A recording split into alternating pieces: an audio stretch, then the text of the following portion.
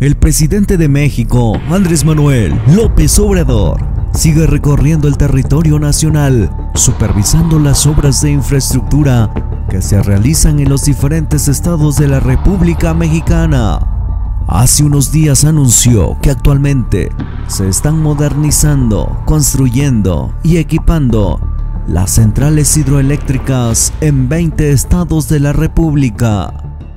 La Comisión Federal de Electricidad se encuentra en un proceso de modernización, ya que los gobiernos neoliberales abandonaron las centrales hidroeléctricas deliberadamente por lo que la actual administración determinó modernizar, repotenciar y automatizar 16 plantas de la Comisión Federal de Electricidad, equipar tres más y construir una nueva. Con la modernización, equipamiento, automatización y construcción de las nuevas centrales hidroeléctricas, la Comisión Federal de Electricidad fortalece su capacidad de generación y apuntala la soberanía energética de México. Es una decisión estratégica del Estado para garantizar el suministro de energía con electricidad limpia, barata y confiable por los próximos 50 años, consolidando así la soberanía energética del país. La Comisión Federal de Electricidad indicó que los equipos de algunas centrales hidroeléctricas, en algunos casos con más de 40 años de operación, estaban llegando al fin de su vida útil, por lo que fue necesario modernizar sus equipos principales como turbinas, generadores y transformadores. Además agregó que las 16 centrales que están siendo modernizadas son Novillo en Sonora, El Fuerte, Sanalón y Humaya en Sinaloa, Infiernillo y La Villita en Michoacán, El Caracol en el estado de Guerrero, Simapán en Hidalgo, Mazatepec Portezuelo 1 y 2 en Puebla, Las Minas y El Encanto en el estado de Veracruz, así como Malpaso, Angostura y Peñitas en el estado de Chiapas. Las plantas que serán equipadas son Picachos, Amata y Santa María en Sinaloa, mientras la central en construcción es Chicoacén 2 en el estado de Chiapas. De igual forma ha mencionado que la gran parte de equipos que se instalan en las centrales hidroeléctricas que se modernizan son de fabricación hecho en México y no en el extranjero, con lo que también se está impulsando la creación de empleos. El presidente de México está trabajando arduamente para terminar estas emblemáticas obras antes de finalizar su sexenio.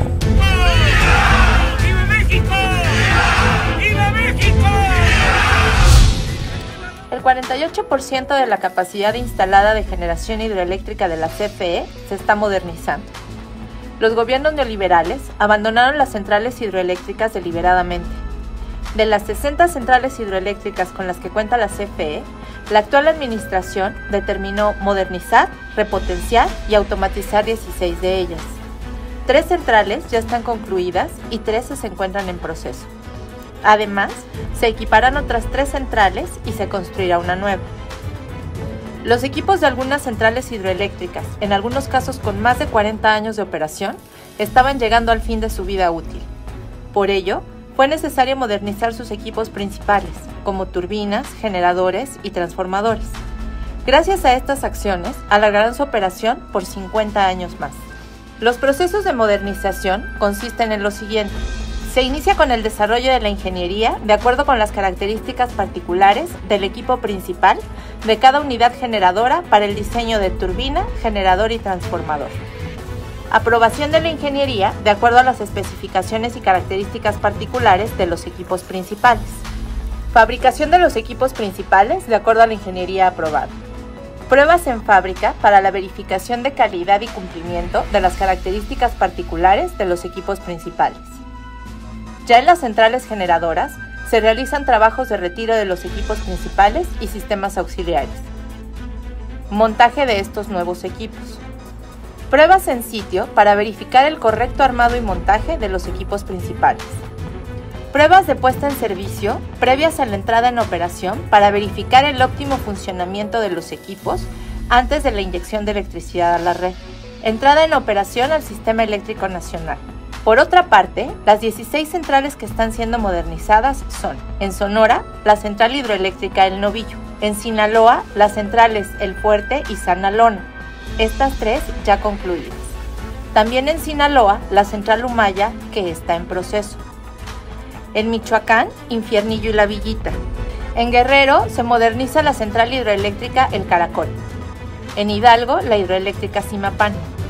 En Puebla, Mazatepec, Portezuelos 1 y Portezuelos 2. En Veracruz, las centrales Minas y El Encanto. En Chiapas, Malpaso, Angostura y Peñitas. A diferencia del proceso de modernización, en algunos casos el proceso de equipamiento consiste en partir desde cero la obra civil y en otros se aprovecha la presa existente para montar una casa de máquinas y unidades de generación. El proceso es el siguiente. Elaboración de ingeniería de obra civil y electromecánica, tales como turbina, generador, transformador, etc. Aprobación de la ingeniería de acuerdo a las especificaciones y características particulares de la infraestructura y equipos electromecánicos. Ejecución de la construcción de la infraestructura civil con mano de obra 100% mexicana. Fabricación de los equipos principales de acuerdo a la ingeniería aprobada. Una gran parte de estos equipos antes se construía en el extranjero. Ahora son construidos en México, lo cual genera empleos en el país. Pruebas en fábrica para la verificación de calidad y cumplimiento de las características particulares de los equipos principales de la obra electromecánica. Montaje de los equipos electromecánicos. Pruebas en sitio para verificar el correcto armado y montaje de los equipos electromecánicos principales. Pruebas de puesta en servicio previas a la entrada en operación para verificar el correcto funcionamiento y cumplimiento del desempeño de los equipos montados y su automatización Entrada en operación al Sistema Eléctrico Nacional a disposición del SENASA. Las centrales que están siendo equipadas son en Sinaloa, Picachos, Amata y Santa María.